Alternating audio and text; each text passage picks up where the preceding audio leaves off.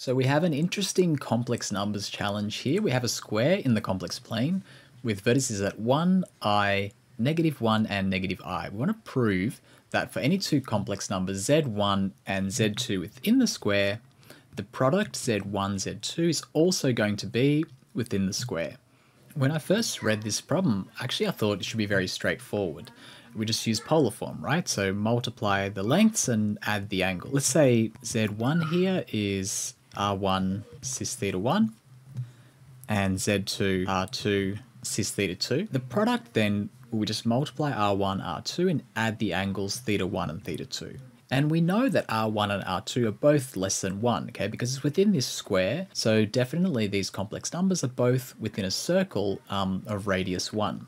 So that's enough to guarantee that the product R1, R2 is going to be less than 1 um, but actually it's not enough to guarantee that it's going to be within this square. So the problem is actually harder than I initially thought. I encourage you to pause the video, have a think about it, have a play around with it, and come back when you're ready.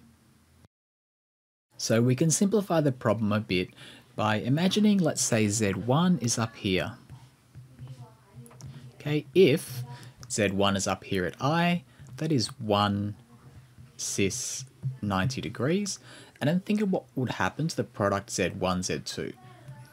Z2 we can place anywhere, Z1, Z2 will be equal to, as we said before, R1, R2, cis theta 1 plus theta 2. In this case, uh, R1 is 1 and theta 1 is 90 degrees.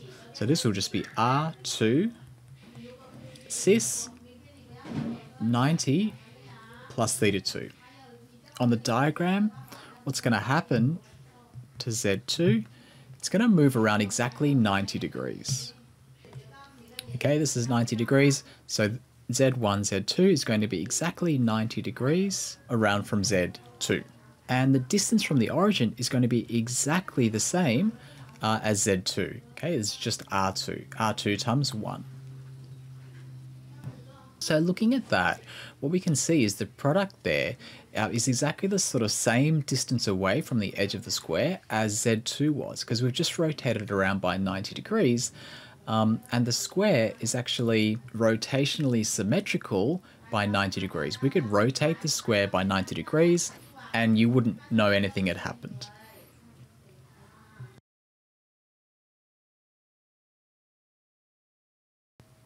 So we can say, for example, that um, whether r cis theta is within the square is going to be exactly the same as r cis theta plus 90 degrees.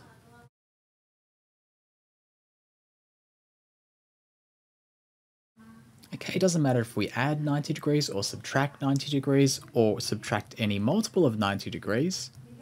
Because of the symmetry of the square, um, the distance from the point to the edge of the square is going to be the same. That's actually really useful because now we can simplify our problem a little bit.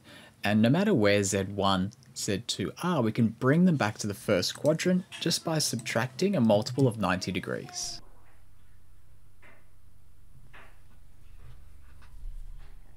So wherever our complex numbers are, we can bring them back into the first quadrant.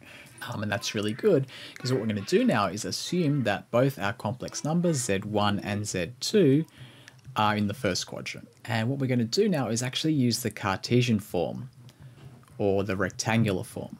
So if we assume Z1 is A plus BI, Z2 is C plus DI, and we're going to assume that A, B, C, and D are all positive because we're in the first quadrant.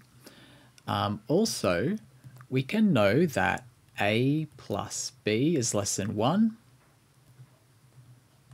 and C plus D is less than 1. Uh, why is that? Because we know that these points are within this uh, square or this triangle here. And if we look at this line,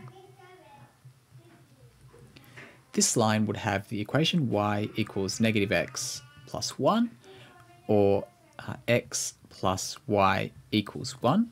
If we know that we're below this line, we know that our x plus y is less than 1. All right, and then we're going to consider the product actually in Cartesian form.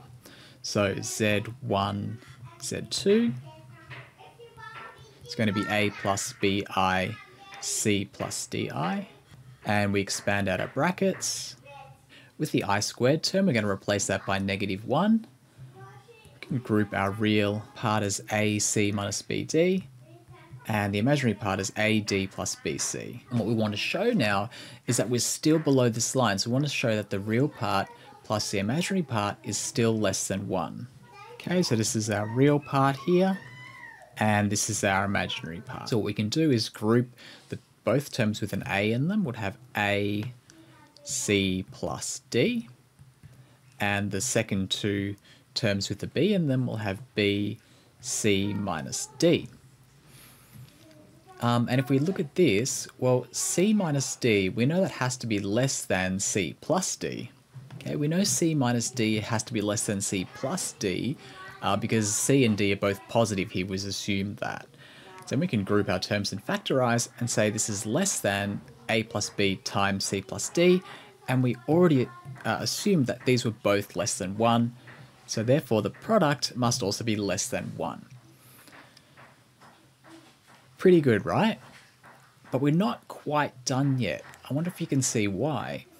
It might help to look at the diagram, um, and if we multiply Z1 and Z2, you know, especially if I move Z, Z1 round a little bit, uh, it could be the case that when I multiply Z1 and Z2, the product is actually no longer going to be in the first quadrant. So then, well, I'm not really too interested whether I'm below this line x plus y is equal to 1 okay? Because Z1, Z2 could be uh, up here and still below the line x plus y is equal to 1, but that's no good because that doesn't guarantee I'm inside the square. So now I need to consider this line. Now this line has the equation y equals x plus 1. I can rewrite that as y minus x equal to 1. If I want to be below that line, then I'll need to have uh, y minus x to be less than 1. So I need y minus x to be less than 1, or the imaginary part of our product minus the real part to be less than 1. So again, we can take our expressions from over here.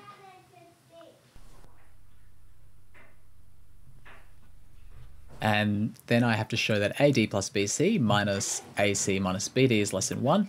Hopefully a similar trick as what we've used over here would also work. Let's see if we group our A terms again.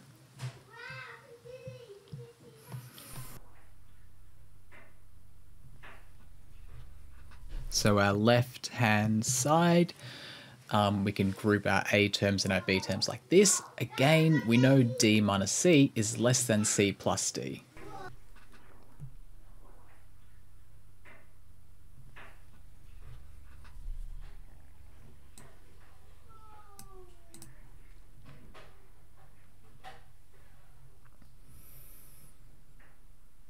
uh, which is great. That also guarantees that we're less than this line, which means our product is within the square. So there we are. If the two complex numbers are in the first quadrant, then their product must lie within the square. Um, and together with the observation before about the rotational symmetry, that we can bring any complex number from any quadrant back into the first quadrant by subtracting a multiple of 90 degrees is enough to prove uh, that the product must be within the square. Actually, when I first saw this problem on Stack Exchange, uh, the problem was posed about a, a, polygon in the complex plane. So it's actually a bit more complex, a bit more general than the problem we've seen here. And I'll leave a link to that if you're interested. Stop, Baba. What?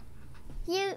This is still copying people. Yeah, so you can hear what you're saying. Ah. you explain it well. So I want to tell you that